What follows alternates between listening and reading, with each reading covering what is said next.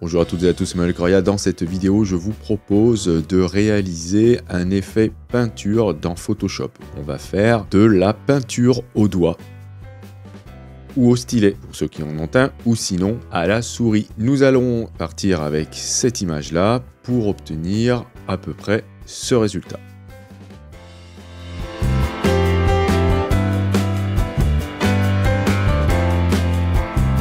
Alors je vous avais montré dans une vidéo comment faire un pinceau pour l'outil doigt, c'est cet outil que nous allons utiliser. Donc si vous n'avez pas vu la vidéo, je vous encourage à aller voir comment fabriquer cet outil. Et on va faire un autre outil aujourd'hui avant de commencer pour les cheveux. Alors comment on va faire ça? On va créer un nouveau document. Peu importe la taille, ici j'ai utilisé un document qui fait 1080 par 1080. Je vais créer un nouveau calque. Je vais ensuite zoomer un peu, prendre l'outil pinceau avec un pinceau rond. Vous pouvez aller dans les pinceaux généraux, prendre l'arrondinette, vérifier que vous allez peindre en noir, baisser un peu la taille, et on va faire un gros point suivi d'un petit comme cela. Ensuite, vous pouvez tout de suite aller dans le menu édition, définir un pinceau prédéfini. Voilà, pas la peine de faire de sélection pour faire euh, ce genre de pinceau, puisque tout ce qui est blanc est totalement ignoré. On va l'appeler cheveux 1, par exemple. OK. Et ensuite, on va aller cliquer ici sur euh, le pinceau, pour ensuite aller dans dynamique de forme. Et on va faire une variation de la taille. Alors ça, ça sera très utile si vous avez un stylet, d'activer ici la pression de la plume. Ce qui fait que lorsque vous allez appuyer très fort, eh bien vous allez avoir la taille indiquée ici. Et lorsque vous allez réduire la pression, vous allez faire quelque chose de beaucoup plus fin. Si vous n'avez pas de stylet, vous pouvez le simuler avec la souris. Pour cela, vous allez choisir ici fondu et vous allez contrôler la longueur en fait de l'effilement avec ce chiffre ici. Et regardez bien ce qui va se passer là.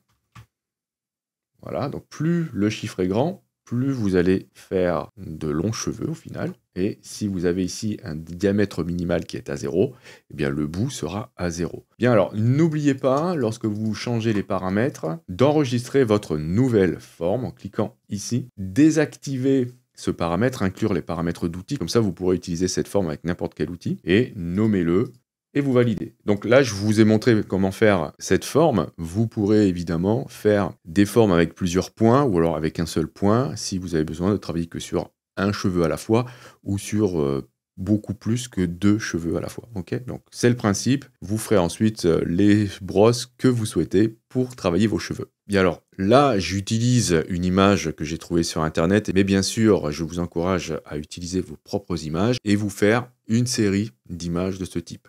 Alors à force d'avoir des créations, que ce soit avec ce style ou avec d'autres styles, vous allez vite avoir besoin de montrer vos travaux et euh, les réseaux sociaux c'est bien, mais avoir son propre site internet, son propre portfolio en ligne, c'est quand même un plus si on souhaite partager ce que l'on a fait. Et c'est pour moi l'occasion d'introduire le sponsor de cette vidéo qui est Zairo. Zairo c'est quoi? C'est un créateur de site internet en ligne tout particulièrement adapté aux débutants.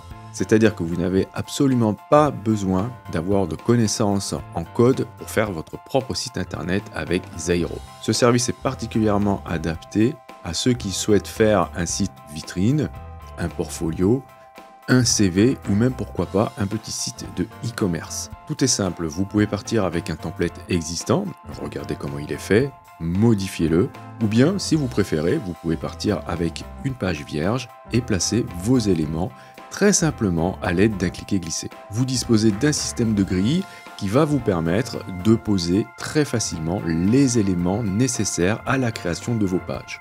Vous disposez même de certains outils basés sur l'intelligence artificielle. vous allez voir, c'est un jeu d'enfant. Avec Zairo, vous pouvez littéralement faire un site internet en quelques minutes. Les sites créés par Zairo sont adaptables à tous les périphériques, écran, smartphone, tablette, et s'affichent d'une manière très rapide. Les prix proposés font partie des plus abordables du marché. Si ce service vous intéresse, une offre exclusive vous est réservée, mais attention, elle est limitée dans le temps. Vous pouvez bénéficier jusqu'à moins 71% de réduction, plus 3 mois gratuits si vous utilisez le code COREA ou bien le lien présent dans la description. Donc voilà pour la présentation de ce sponsor qui, grâce à ce type d'intervention, me permet de faire vivre cette chaîne. Bien alors, on va revenir en arrière car ici j'ai un petit peu abîmé mon modèle. Donc je vais aller dans Fichier, version précédente. Hop, comme ça, je retrouve mon modèle complètement vierge de toute modification et on va travailler. Donc je vais aller chercher d'abord la forme que j'avais fait ici la dernière fois. Donc là, je vais bien faire attention à une chose, c'est que je voudrais pas abîmer mon euh, calque d'origine. Donc je vais ajouter un calque vide par-dessus que je vais appeler peinture au doigt et je vais bien faire attention avec l'outil doigt de cocher ici échantillonner tous les calques. Ça va me permettre ça de faire ce genre de choses. Donc là, je peux commencer, hein, regardez ce qui se passe. Voilà, donc bien vérifier l'intensité. Ici, si vous trouvez que ce n'est pas assez fort, vous pouvez augmenter. Donc là, voilà, je vais passer comme ça. Alors, faites attention à ça. Ne faites pas des vagues comme ça, sinon vous allez mettre euh, du sombre dans les parties claires, c'est pas bon ça. Vérifiez bien les parties claires. Donc il faut bien les respecter, les parties claires, si vous souhaitez ne pas avoir de taches, ne pas avoir d'ombre en fait, euh, là où vous ne souhaitez pas en avoir. Ok? Alors, Qu'est-ce que ça fait d'avoir euh, le calque à part? C'est ça, c'est que je vais pouvoir maintenant désactiver le calque d'arrière-plan, hop, pour voir le résultat directement sur mon autre calque. Je vais vous donner un dernier conseil. Lorsque vous avez des parties qui sont assez marquées, par exemple ici, vous voyez, le pli que vous avez là, eh bien, il ne faut pas l'estomper. Ne faites pas ça. Sinon, on ne verra plus les zones de contraste et ça va un petit peu rendre votre euh, résultat trop plat. Donc il faudra bien respecter cette zone. Là, voyez, vous passez ici et là, vous passez là à côté. Voilà, comme ça, vous allez garder les deux zones bien distinctes. Pareil, lorsque vous serez par exemple ici, vers le nez, ici vous allez travailler là, comme ça, vous passez gentiment ici, et là, vous allez travailler ensuite par-dessus à ce niveau-là. Voilà, donc là, bien respecter les zones de lumière et d'ombre d'origine, et surtout les zones de transition où il y a un fort contraste. Je vais tout recommencer. Je vais faire un clic droit sur mon calque d'arrière-plan pour le convertir en tant qu'objet dynamique. Je vais aller chercher un filtre d'accentuation. Je vais mettre 235 en gain et 6 pixels pour le rayon. Je crée un nouveau calque par-dessus et je commence à travailler. Donc à partir de maintenant, je vais mettre en accéléré J'interviendrai lorsque cela sera nécessaire.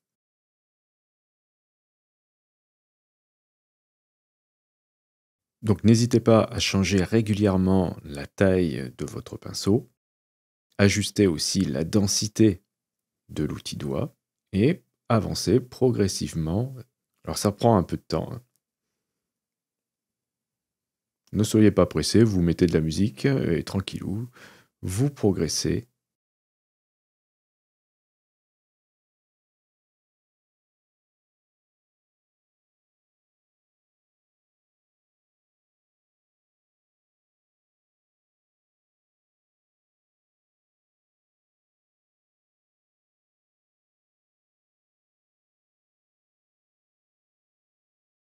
Alors, dans les cheveux, respectez bien le sens des cheveux.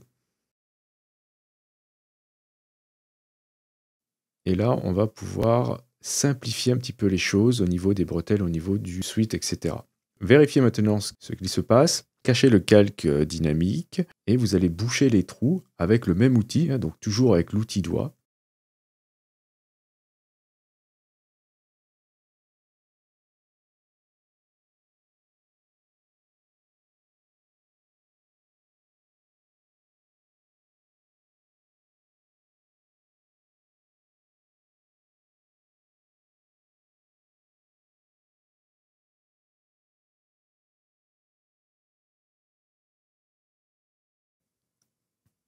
Toujours avec l'outil doigt, on va faire glisser, faire baver les couleurs tout autour du modèle, surtout vers le, bas. Et on va ensuite ajouter euh, un calque de remplissage. Ici, j'ai utilisé un calque de remplissage de type couleur unie, avec une couleur échantillonnée sur la bretelle. Et là, je suis en train d'estomper les contours, soit avec euh, l'outil euh, doigt, comme ici, ou bien même parfois avec directement la gomme dans les endroits qui nécessitent plus d'attention.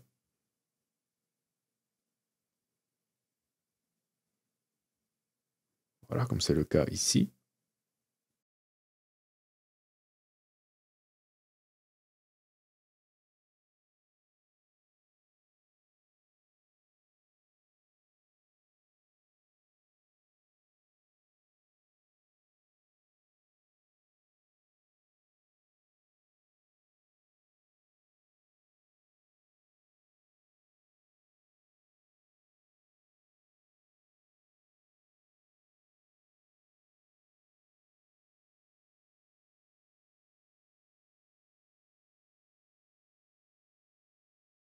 Je vais ensuite m'attaquer aux cheveux avec la forme que nous avons fait précédemment, au début de la vidéo. Alors n'oubliez pas de changer la taille.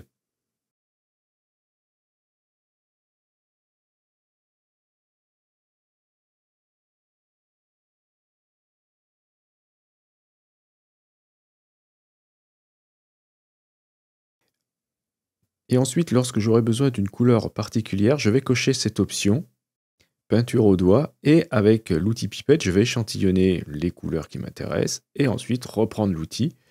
Et en fait, euh, l'option peinture au doigt me permet d'ajouter la couleur de premier plan lorsque j'utilise l'outil doigt.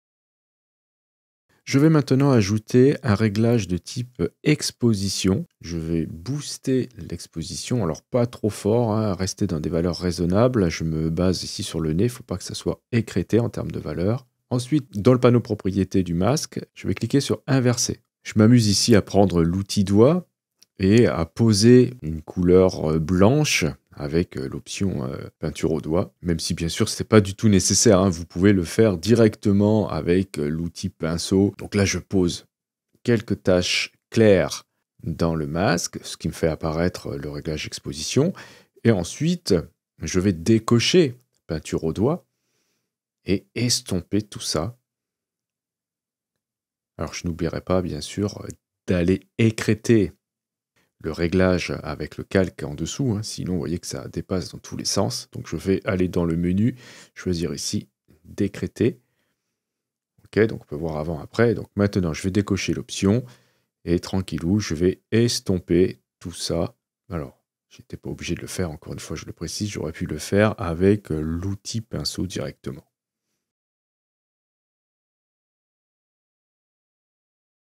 Je vais maintenant ajouter, toujours avec l'outil doigt, quelques taches de couleur au-dessus de mon calque de remplissage. Alors j'ai ajouté un calque vide hein, pour faire ça. Utiliser des couleurs claires et des couleurs foncées. Respecter le sens de la lumière.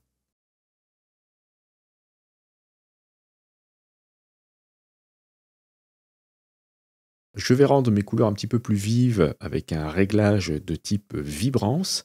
Ensuite, je vais convertir le calque de mon dessin en tant qu'objet dynamique et aller chercher un filtre d'accentuation dans renforcement accentuation. Je vais mettre un gain assez fort avec un rayon aux alentours des 1 pixel à peu près. Ensuite, je vais nettoyer ici ce qui dépasse un peu. Alors, je vais ajouter un masque de fusion sur mon calque dynamique et je vais nettoyer tout ça. Alors au début, j'essaye de le faire avec l'outil doigt pour respecter un petit peu le thème, mais bon, ça marche pas vraiment bien ici. Donc je vais continuer avec euh, l'outil pinceau en peignant en noir, ça sera beaucoup plus efficace.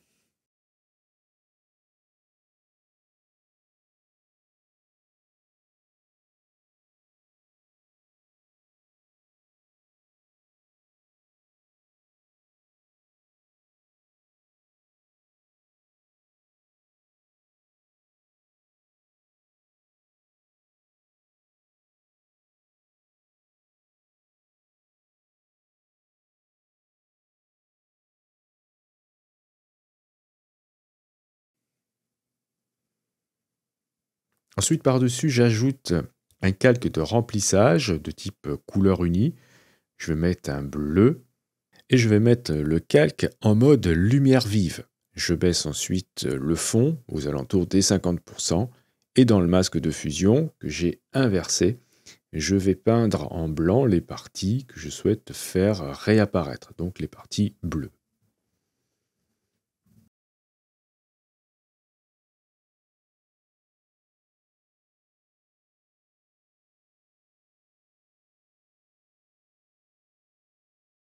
Une fois que vous pensez être satisfait avec votre image, n'oubliez pas de la sauvegarder.